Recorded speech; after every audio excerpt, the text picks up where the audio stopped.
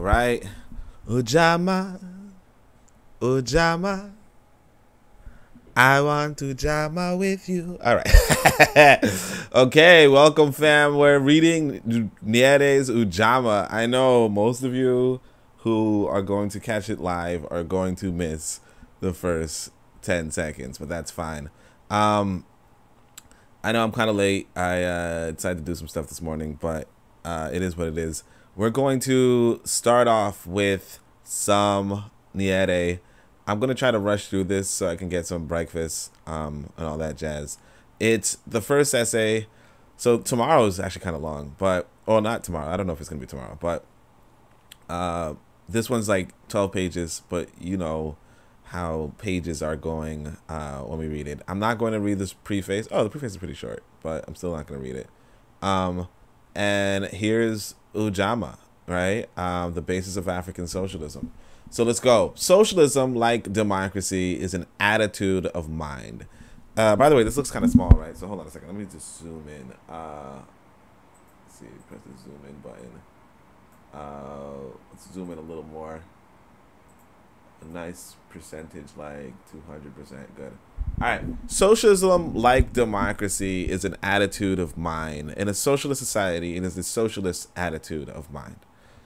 And not the rigid adherence to a standard political pattern, which is needed to ensure that the people care for each other's welfare.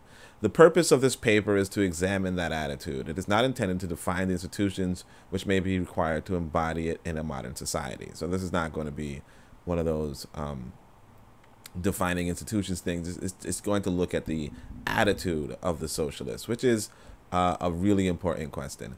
Uh, let's keep going.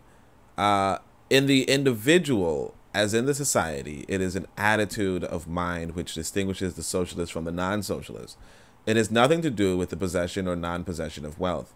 Destitute people can be potentially capitalists, exploiters of their fellow human beings. A millionaire can equally well be a socialist. He may value his wealth only because it can be used in the service of his fellow men. But the man who uses wealth for the purpose of dominating any of his fellows is a capitalist. So is the man who would if he could. So this is interesting. It's like usually um so this is a this is an interesting way. Uh, usually you would look at the class divide based off of their possession of wealth. So basically, the proletariat is somebody who doesn't own the means of production, and the capitalist is somebody who owns the means of production. And what Nyerere is introducing here, or, or, or suggesting here, is this idea that it's realistically the mindset of a person, right? Another thing I want to point out is that, you know, millionaire was once considered wealthy, but now billionaire is like the new millionaire. You know, that's how either inflation goes or how you know how capitalism has advanced. But uh, what I would say is, yeah, that's a that's a pretty like I I usually I would go by saying, hey, you know, black folk aren't capitalists because they don't own capital. But you know, I can also see how he says, hey, we do have the like we could we could say we're capitalistic, you know, uh, or socialistic. Um, i.e., you know, the mindset of capitalists or the mindset of socialists. But it's the same to say this because the other one is just as ridiculous. You know, capitalistic, socialistic, if you don't have capital. You know what I mean?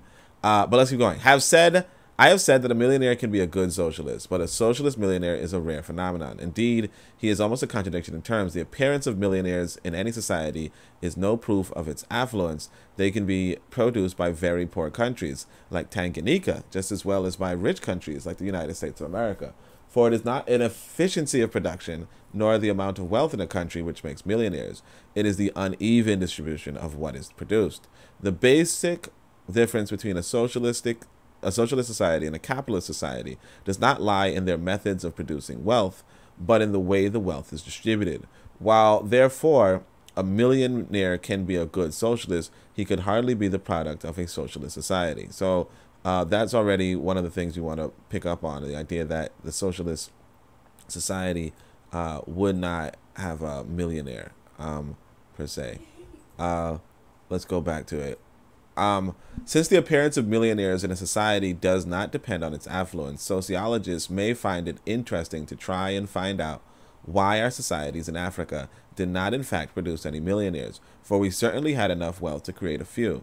Um, now, I wouldn't say that our societies didn't produce millionaires because you know, some people would allege the richest person on the planet was um, this uh, Mansa Musa, you know, and so like there were a lot of really wealthy individuals um, in Africa. Uh, now, whether you consider them millionaires by American currency, um, that wasn't even like when before America even existed is a, another question. But I wouldn't say that it didn't produce incredibly wealthy individuals, uh, because a lot of times, and that's the thing that I I want us to really grasp as a people is that a lot of times we did have incredibly wealthy individuals.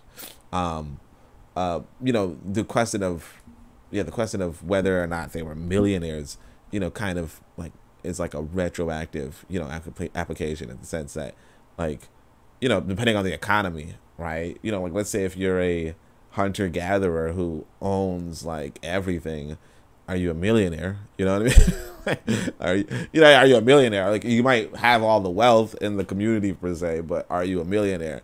Um, that's the uh, that's the big question. Or or if you like, let's say if you're an individual who owns, who actually owns other individuals, right? Or you own a, a bevy of of like you own like ten thousand cows, you know. Uh, like in modern parlance, a cow could sell for a thousand dollars. But let's say you have ten thousand high quality cows that sell for even more than that. You know, two thousand dollars or whatever, twenty thousand dollars. Who cares, right? Point is, are you a millionaire or are you just a guy with ten thousand cows? You know what I mean? Uh, or you're a guy with a hundred thousand cows, like uh, a uh, hundred thousand cows and fifty thousand people. You know, uh, we're the we're the kings of of of of Europe, millionaires. That's the question. Um, so anyway, so he says uh, sociologists uh, may find it interesting to try and find out why our societies in Africa did not, in fact, produce any millionaires. For we certainly had enough wealth to create a few. I think they would discover that it was because the organization of traditional African society, its distribution of the wealth is produced, was such that there was hardly any room for parasitism. They might also say, of course, that as a result of this, Africa could not produce a leisured class of landowners, and therefore there was nobody to produce the works of art or science which capitalist societies can boast. But works of art and the achievements of science are products of the intellect, which, like land, is one of God's gifts to man. And I cannot believe that. Okay, I should stop using this word. Um, let's say Amon. Amon is so careless as to have made the use of his of one of his gifts depend on the misuse of another. Um, so yeah, so like I said, the, the leisure class thing, I think that was a thing, uh, particularly if you go to Egypt. Um, obviously, there's not too much, too many records of people um, between that time, but that's um that's another thing. Uh, defenders of capitalism claim that the millionaire's wealth is the just reward for his ability of, or enterprise. But this claim is not borne out by the facts. The wealth of the millionaire depends a little on the enterprise or abilities of the millionaire himself, as the power of a feudal monarch depended on his own efforts, enterprise, or brain. Both are users, exploiters of the abilities and enterprise of other people. Even when you have an exceptionally intelligent and hardworking millionaire, the difference between his intelligence and his enterprise, his hard work, and those of other members of society cannot possibly be proportionate to the difference between their rewards. There must be something wrong in a society where one man, however hardworking or clever he may be, can acquire as great a reward as a thousand of his fellows can acquire between them. Uh, okay, so so so my thing is this: I, I do, you know, I, I appreciate Nyerere. Nyerere is one of the greatest um, of our ancestors uh, especially in the 20th century, right? What I would say is this: um, I think I think leadership does um, warrant, like it does warrant reward, does warrant praise. Kind of the same as I'm like, hey, Nyerere is so great, Nyerere is so great, you know. Uh, and I'm saying that not because he was the greatest person of his generation, but because he was a leader, you know. And the leader, I feel, does get you know more rewards for just leading the enterprise because the reality is that two people leading the same enterprise can cause drastically different effects you know and what we see in africa now is a need for people like a need for leadership like Nyerere. and it's the same with a business i believe that you would have a need for a person like um i mean obviously like like Nyerere in a sense you you would want a, a, nice, intelligent, you know, individual uh, hardworking, intelligent, all that kind of stuff, and and for the for the people or for the objective. Uh, but yes, I, I believe that you should reward people um, on that basis alone. But it is what it is. Let's see. Acquisitiveness for the purpose of gaining power and prestige is unsocialist. So I, I noticed that they use the word acquisitive a lot. Um, I don't. I never use that word, but acquisitive, basically acquiring things for the purpose of gaining power and prestige, is unsocialist. It is a acquisitive society. Wealth tends to corrupt those who possess it. It tends to breed in them a desire to live more comfortably than their fellows, to dress better in every way to outdo them. They begin to feel they must climb as far above their neighbors as they can. The visible contrast between their own comfort and the comparative discomfort of the rest of society becomes almost essential to the enjoyment of their wealth, and this sets off the spiral of personal competition, which is from which is then antisocial. So I mean, I don't know to what extent this is um, this luxury um, you know, luxury and debasement of other people is a is a is a necessity, but that's something that you want to focus on too, because that is the more extreme end um, that that you do want to reject as a people, right? Um, you know, this idea of oh well, if other people are suffering, then I'm going to feel better. You know, I guess the Germans call it Schadenfreude, um, anyhow, uh, still still no comments, but it is what it is, right? Apart from the antisocial effects of the accumulation of personal wealth, the very desire to accumulate it must be interpreted as a vote of no confidence in the social system. For when a society is so organized that it cares about its individuals, then provided he is willing to work, no individual within that society should worry about what will happen to him tomorrow if he does not hoard wealth today. Society itself should look after him or his widow or his orphans. This is exactly what traditional African society succeeded in doing. Both the rich and the poor individuals were completely insecure in African society. Natural catastrophe brought famine, but it brought famine to everybody, poor or rich. Nobody starved, either of food or of human dignity, because he lacked personal wealth. He could depend on the wealth possessed by the community of which he was a member. That was socialism. That is socialism. There can be no such thing as acquisitive socialism, for that would be another contradiction in terms. Socialism is essentially distributive. It concerns its concern is to see those that those who sow reap a fair share of what they sow. So again, I I uh, I would look at this. Um, yeah. All right. So again, I would say that this is the product of an agrarian society. And and and so whereas it is a form of socialism, um, in the sense of, you know, if you were to look at the from a Marxian point of view, you know, of you know this primitive socialism they call it, but basically the first socialism, uh, which is the agrarian society. And in the agrarian society, before you sell the produce, yes, everything it should be used for your consumption, right? Um, but then when you sell the produce to another, like to a town, right? How does the town distribute the food? Is the question. Because what happens in the agrarian society is that people are working for the food. In the town, they're not. And so that's partly why you want to um, organize economies in that way. And I think I think what happens later in um, that's why Nyerere is so good, by the way. But what happens later in Nyerere's life is um, he he goes back and says that he might have been a little bit wrong on his uh, bureaucracies uh, when it came to implementing socialism. You know, he's so good. Um, you know, and and that's that's something that you know I wouldn't take lightly. You know, like like like um, I wouldn't take that lightly. But anyhow, let's see. Uh, okay, no comments again. Let's go. The production of wealth, whether by primitive or modern methods, requires three things. First, land.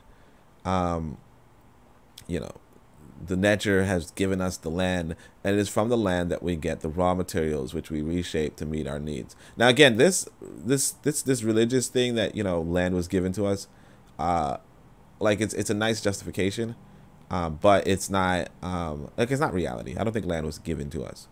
Um, I mean, obviously we we should use the land, but I don't think it was given to us as human beings in a sense, exclusively. Uh, although he doesn't say exclusively here, but you know that's that's one of the implications in the religious mindset, particularly. the Abrahamically religious mindset. But anyway, has given us the land, and it's from the land that we get the raw materials which we reshape to meet our needs. Secondly, tools. And tools are very important. We have found by simple experience that tools do help. So we make the hoe, the axe, or the modern factory or tractor to help us produce wealth, the goods we need. And thirdly, human exertion or labor. We don't need to read Karl Marx or Adam Smith to find out that neither the land nor the hoe actually produces wealth. And we don't need to take degrees in economics to know that neither the worker nor the landlord produces land. Land is uh, a man's gift to man. It is always there. But we do know, still without degrees in economics, that the axe and the plow were produced by the laborer.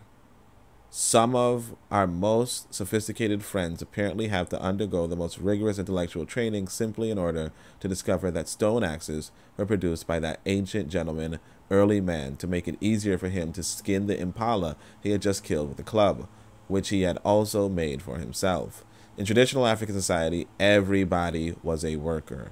There was no other way of earning a living for the community. Even the elder, who appeared to be enjoying himself without doing any work and for whom everybody else appeared to be working, had in fact worked hard all his younger days. The wealth he now appeared to possess was not his personally, it was only his as the elder of the group which he had produced it. He was its guardian. The wealth, so that's the leisure class right there itself gave him neither power nor prestige. The respect paid to him by the young was his because he was older than they and had served his community longer, and the poor elder enjoyed as much respect in our society as the rich elder. Um, that's a thing too, uh, somewhat. You know, um, I would say. I mean, again, I like it could be particular to where he was, but I I know that uh, you know you could have an elder above of other elders. Um, all right. So when I say that in traditional African society everybody was a worker, I do not use the word worker simply as opposed to employer, but also as opposed to loiterer or idler. Um, yeah, so so that you know yeah. One of the most socialistic achievements of our society was the sense of security it gave to its members and the universal hospitality on which they could rely. But it is too often forgotten nowadays that the basis of this great socialistic achievement was this that it was taken for granted that every member of society, barring only the children and the infirm, contributed its fair share of effort towards the production of its wealth. Not only was the capitalist or the landed exploiter unknown to traditional African society, but we did not have the other form of modern parasite, the loiterer or idler, who accepts the hospitality of society as his right but gives nothing in return. Capitalistic exploitation was impossible. Loitering was an unthinkable disgrace.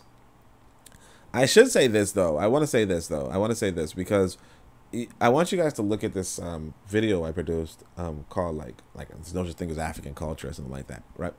Um, in it, I I examine um, a, not a not it's not an agrarian people, but it's uh like the uh the nomadic people. I can't remember their name, but the, they're the ones with the red ochre that they put on their bodies. Um, they like their form of labor is very idle you know and the thing is that even when it comes to farming although there's an intense planting season there's also a lot of idle uh, in comparison to the industrial economy, which requires daily, um, like daily labor, you know. Uh, so that's just another thing to, to, to, to consider when we when we compare different economies with different economies. Um, that that even if you were like involved in the agrarian process, the reality is that you cannot do the same thing every day all year round in an agrarian economy because clearly like you know you're responding to the like you're working with the land and the land does not work 24 7 uh, those of us who talk about the african way of life and quite right rightly take a pride in maintaining the traditional the tradition of hospitality which is so great a part of it. Might do well to remember the swahili saying mgeni siku mbili siku ya tatu mpe jembe or in english treat your guest as a guest for two days and on the third day give him a hoe. I remember that one. In actual fact, the guest was likely to ask for the hoe even before his host had to give him one, for he knew what was expected of him and would have been ashamed to remain idle any longer. Thus, working was part and parcel, was indeed the very basis and justification of this socialist achievement of which we are so justly proud. There is no such thing as socialism without work. A society which fails to give its individuals the means to work, or having given them the means to work, prevents them from getting a fair share of the products of their own sweat and toil, needs putting right. Similarly, an individual who can work and is provided by society with the means to work, but does not do so, is equally wrong. He has no right to expect anything from society because he contributes nothing to society. And this is a, a quotable right here. He has no right to expect anything from society because he contributes nothing to society, right?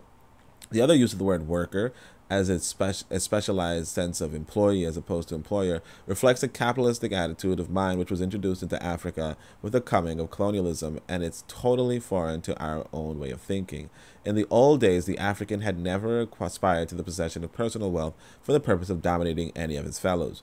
Uh, see, that's what I'm saying. I wouldn't, I wouldn't go by, I wouldn't say this. You know, like again, it depends on the economy, but a lot of times you did have servants. Now it could be, um, in relation to um, Islam, in Islam's introduction, but you did have um, slavery in in in in early in in some parts of Africa, right?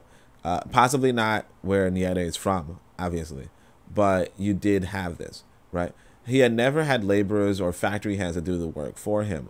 But then came the foreign capitalists. They were wealthy, they were powerful, and the African naturally started wanting to be wealthy too. There's nothing wrong in our wanting to be wealthy, nor is it a bad thing for us to want to acquire the power which wealthy with wealth brings with it. But it most certainly is wrong if we want the wealth and the power so that we can dominate somebody else. Unfortunately, there are some of us who have already learned to covet wealth for that purpose and who would like to use the method which the capitalist uses in acquiring it. That is to say, some of us would like to use or exploit our brothers for the purpose of building up our own personal power and prestige. This is completely foreign to us and is incompatible with the socialist society we want to build here. Now, I want you to focus on this how he says, our brothers. You know, Nyerere, say what you will. This is a man who loves our people. Okay? This is a man who loves our people. Just how he talks about us. See, the way how we tend, even me, even myself, the way how even like people in the comments, although there's nobody in the comments, so it doesn't matter. But even people like me, um, like I used to say brothers a lot. I like, oh, those are brothers and sisters. But like the longer I've been on Twitter and all that kind of stuff, the longer I've just been other Africans or African Americans or or or this and that, so on and so forth, right? You know, African Americans or Nigerians or this and that, you know, a Scotty, blah blah blah blah, right? Uh, he's calling at, he's like our brothers. You know, like he's so this is such this is like if nothing else you can learn about love from this man. This is this is like this is impressive. Like just even how he his, his diction, his personal choice of how he addresses his fellow Africans is is is is above and beyond what you can expect. Um, I don't even know if there's anything like like yeah. This is this is this is this is nice. This is nice. All right. So, our first step, therefore, must be to re educate ourselves, to regain our former attitude of.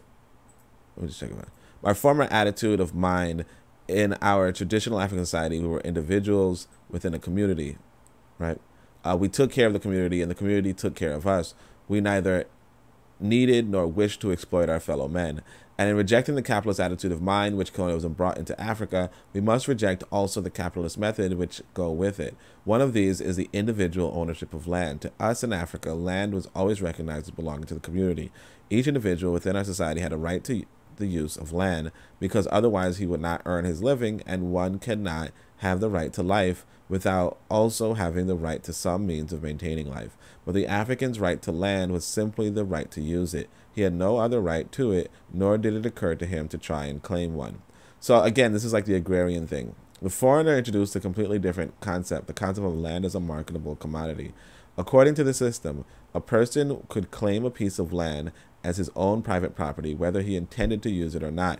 I could take a few square miles of land, call them mine, and then go off to the moon. All I had to do to gain a living from my land was to charge a rent to the people who wanted to use it. If this piece of land was in an urban area, I had no need to develop it at all. I could leave it to the fools who were prepared to developing.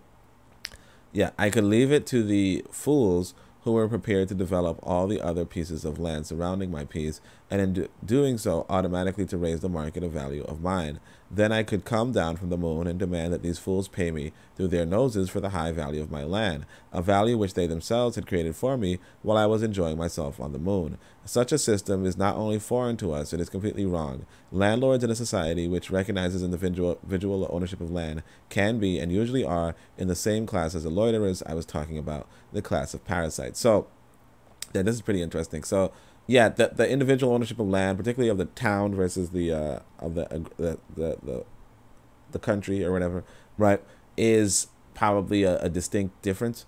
Um, uh, not to say that they didn't have this in Africa, because obviously there were a lot of towns in Africa. Um, but this is probably like the crux of capitalism, really. You know, the fact that uh, people can uh, individually own land and charge rent, but there's a reason for it, I would say. Um, but I mean, I, I, I could see how that's um, uh, dismissive. I, mean, I can see how people are dismissive of that. Um, so anyway, we must not allow the growth of parasites here in Tanganyika so no, notice this is Tanganyika. Y'all, y'all see that? So basically, this is the man who will change this country into Tanzania. You know, uh, but like at this time, it wasn't Tanzania. This is like a his. This is a this is a historic legend. You know, I know I'm like over fawning, but you know, uh, like this is a historic legend. So the TANU government must go back to the traditional African custom of land holding. That is to say, a member of society will be entitled to a piece of land on condition that he uses it. Unconditional or freehold ownership of land. Oh, speaking of which, what's interesting is this. I started reading uh, Adam Smith again. I'm like halfway through now. That's a 1,200 page book, so bear in mind that. But uh, he does talk about how in early America they would claim, like the, the white Americans obviously, would claim a bunch of land. But if they did not develop it, then the state would take it back. Like if they couldn't develop all of it, then the state would take back what they couldn't develop, you know?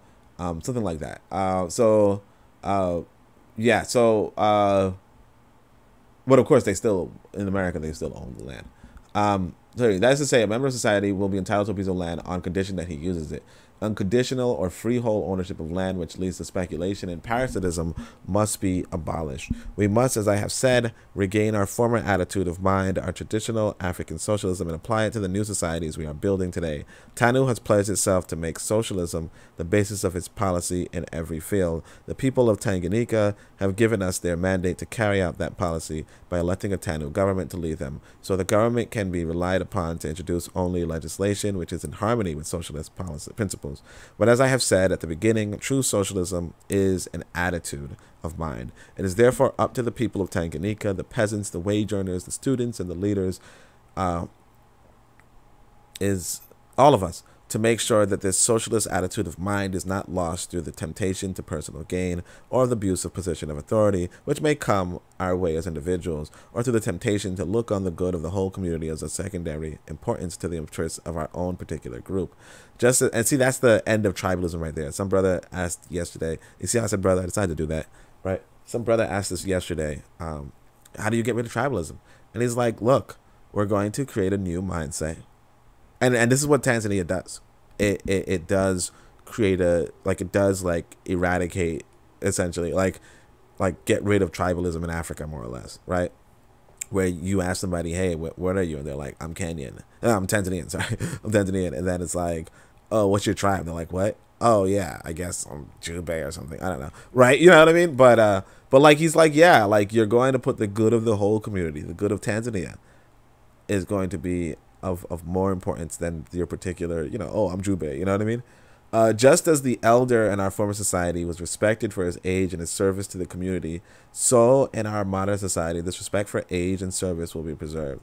All and in the same way as the rich elder, as apparent wealth was really only held by him in trust of his people, so today the apparent extra wealth which certain positions of leadership may bring to the individuals who fill them can be theirs only insofar as its necessary aid to the carrying out of their duties.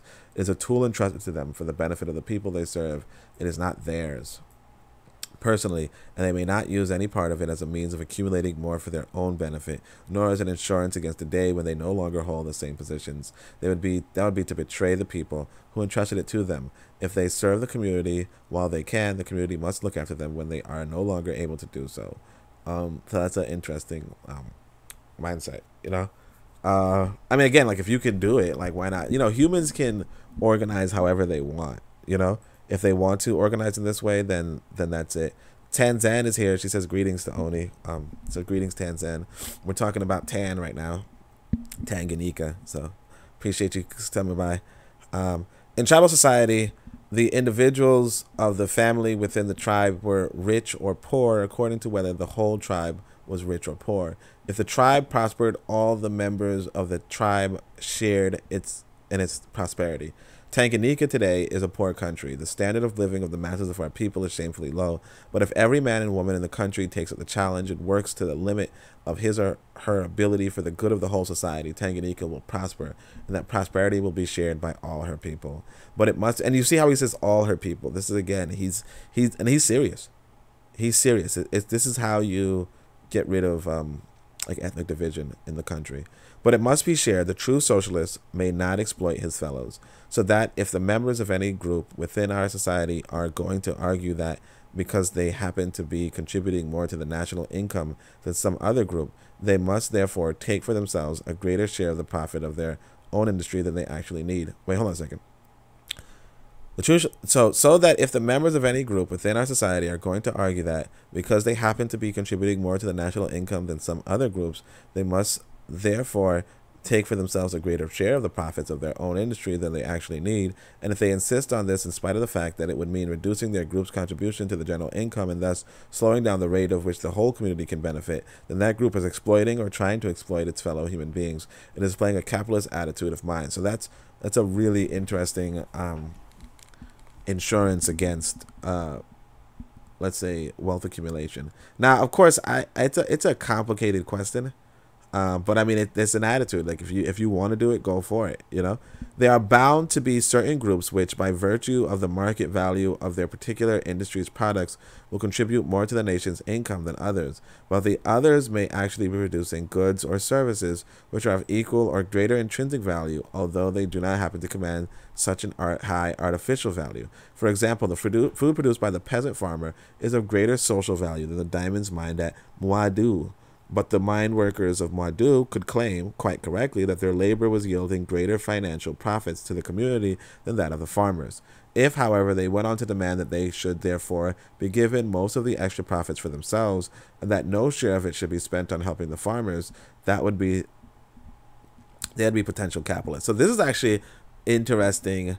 Um, this is like an interesting question. So this actually does address the the question of um, of distribution and so on and so forth.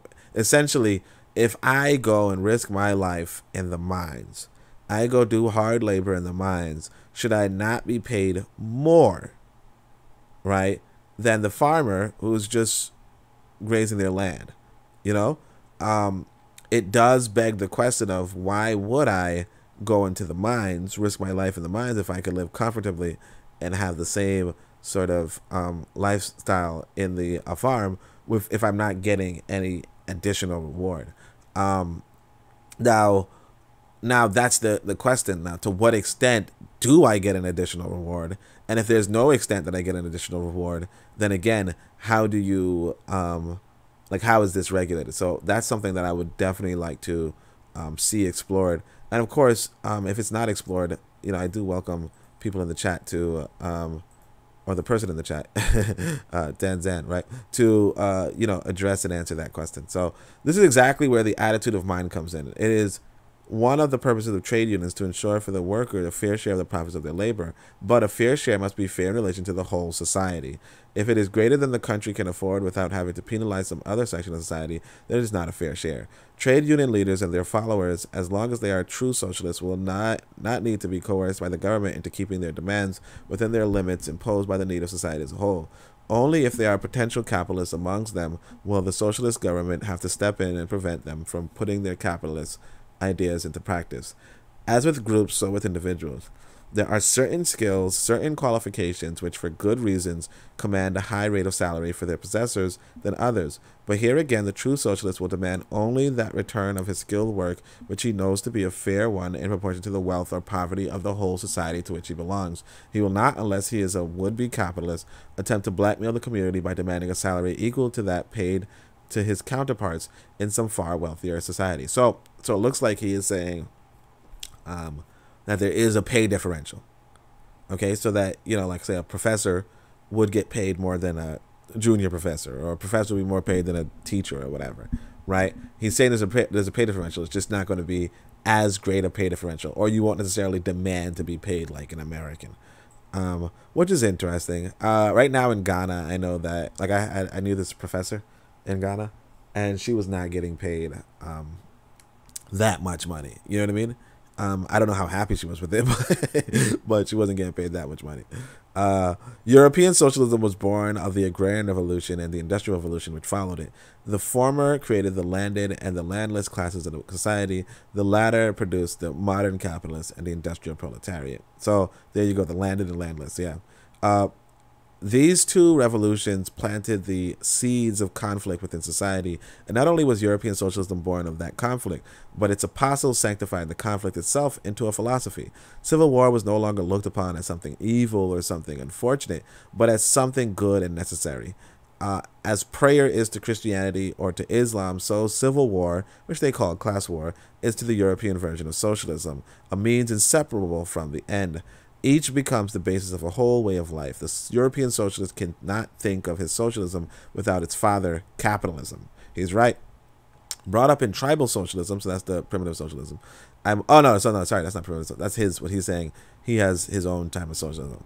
Brought up in tribal socialism, I must say I find this contradiction quite intolerable. It gives capitalism a philosophical status which capitalism neither claims nor deserves. For its virtue says virtually says without capitalism and the conflict which capitalism creates with society, there can be no socialism. And that's true. That's true. That's the thing that a lot of us do not realize is that when you when you oh, I don't like capitalism, I don't like capitalism. Like realistically, capitalism creates this the society which fosters this quote unquote scientific socialism, right?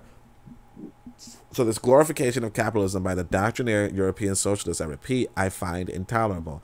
African socialism, on the other hand, did not have the benefit of the agrarian revolution or the industrial revolution. It did not start from the existence of conflicting classes in society. Indeed, I doubt if the equivalent for the word class exists in any indigenous African language, for language describes the ideas of those who speak it, and the idea of the class or caste was non existent in African society. Now, again, I would not say that, right? I mean, again, unless you exclude the Islamicized, uh, but again, I would say that in early, early Africa, in ancient Africa, you would see um, class division, right? Like a lot of a lot of parts of the planet, you would see class division. Maybe not necessarily class conflict, but you would see class division. Um, the foundation of the, uh, wait, what? This is already it's already over. What? I thought it was up to page seventeen, but okay, that's cool. So the foundation on the objective of African socialism is the extended family. The foundation and the objective of African socialism is the extended family. The true African socialist does not look for look on one class of men as his brethren and another as his natural enemy. He does not form an alliance with the brethren for the extermination of the non-brethren. He rather regards all men as his brethren. That's what I'm saying. You see that? Like even I'm a little bit more antagonistic. I'll tell you guys the truth. So I I go about and I say those are the fucking Ascati. You understand? And these are the Oncobia. You know, you know what I mean. I even I do that, but what what what Nyerere is saying is um like no, those are everybody's your brother. You know what I mean? Everybody's your brother. Now I don't know if I would take that, but that's like, you know, that's beautiful. Uh, Tanzan says, "I'm sorry, but I like to start at the start." Shaking my damn head, Tanzan. No, I feel you. This is a this is a book anyway. Um, uh, it's all good. Let me write down shake it. SMDH. Let me just write down SMDH for her. SMDH. Oh, shit. I didn't put the H. shit.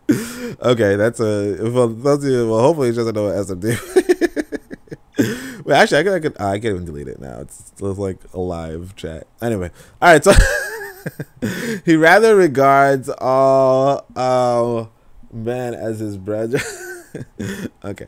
Uh, he rather regards all men as his brethren, as members of his ever extending family. That is why the first article of TANU's creed is Binadamu wote ni ndugu zangu uh, na Afrika ni moja. All right. So let me see if I can actually let me see for a second. I don't know that wote undugu probably brother, my brother, and then and or Africa, my Africa. You know. So I would say my Africa or Africa is first, maybe. Yeah, Africa is first, maybe. Uh, and I, I'm partly looking at the bottom, but anyway, let's see. If this had been originally put in English, it would have been I believe in human brotherhood and the unity of Africa. So I need to catch up, you know. But I guess that's Africa as one. Yeah.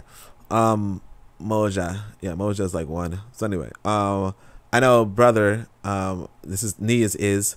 Um Zango I thought would be like ownership but like usually I would look at it as Wangu and so on and so forth, but Zangu might have like a different meaning. So the first article of TANU's creed is, you know, I believe in human brotherhood and the unity of Africa, and he believes in it. Okay, Ujamaa then or familyhood describes our socialism. It is opposed to capitalism, which seeks to build a happy society on the basis of exploitation of man by man, and is equally opposed to doctrinaire socialism, which seeks to build its happy society on a philosophy of inevitable conflict between man and man. We in Africa have no more need of being converted to socialism than we have of being taught democracy. Both are rooted in our own past and the traditional society which produced us. Now, I, I don't want us to keep claiming democracy, another thing, but that's for another time.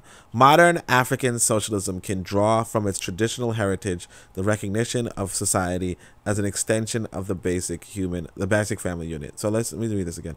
Modern African socialism can draw from its traditional heritage the recognition of society as an extension of the basic family unit. Modern African socialism can draw from its traditional heritage the recognition of society.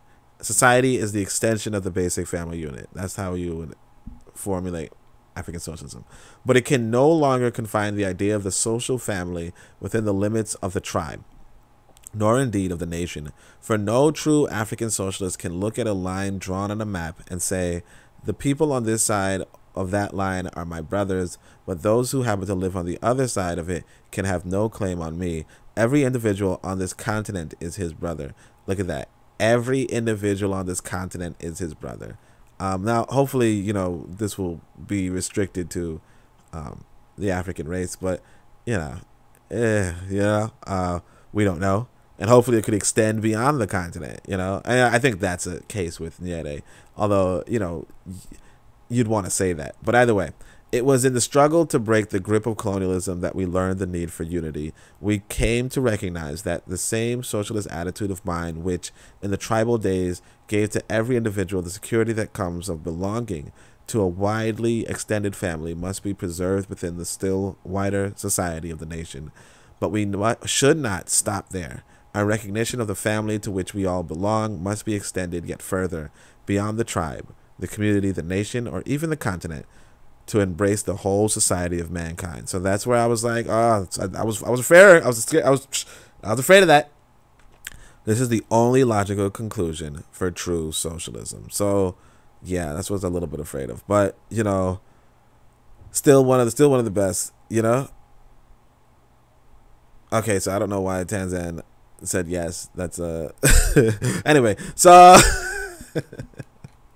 I'm sure to know that. I don't know what that means. All right. Anyway, fam. Uh, with that, obviously, that's the end of the podcast. And um, thank you everybody for coming through. Thanks, Tanzan. I know that there's three concurrent viewers. They said said I was at max four, so appreciate everybody, even those who didn't say anything. Um, appreciate you guys. Uh, hopefully you'll join me. Maybe I don't know if it'll be tomorrow. I maybe possibly, but um, in all likelihood. Uh, but other than that, thank you so much, everybody. Shamiam Hotep. Uncle John said Neb. Neb. I mean, unless there's any questions. Amen. Ma'at. Dua. Nature. Uh, peace.